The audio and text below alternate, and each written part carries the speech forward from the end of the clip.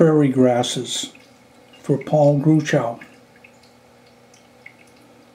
What if pasque flowers dwarfed you as you reclined under prairie stars, all heaven scattered above prairie grasses, infinite in their reach, reminding you of your diminished, insignificant role in a universal scheme of things where even the prairie and the grasses are ever changing?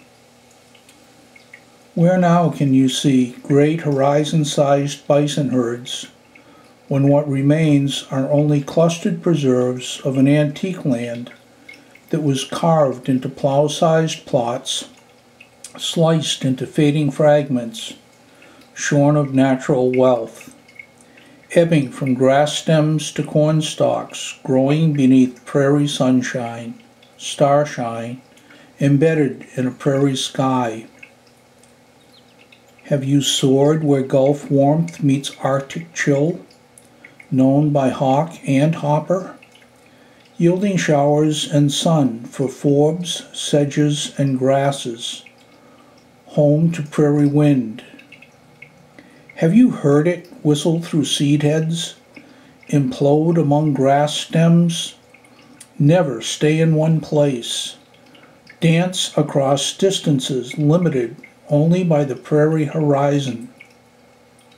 Have you seen the heavenly, hellish receding line over prairie grasses, reaching beyond reach, infinity experienced zestfully, ontologically, naturally, sometimes clouded by prairie wildfire? Have you been there when winter's melted snows inflowed prairie soils?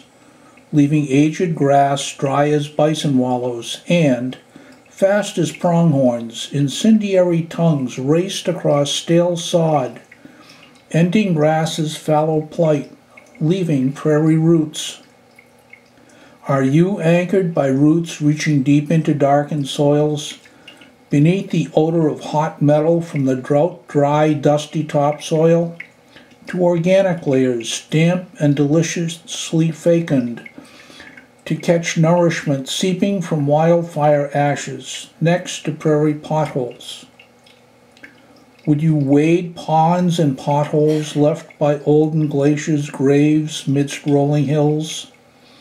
Trysting places for waterfowl and shorebirds, hidden in plain sight, outside, lying summer still in the endlessly susurrating prairie.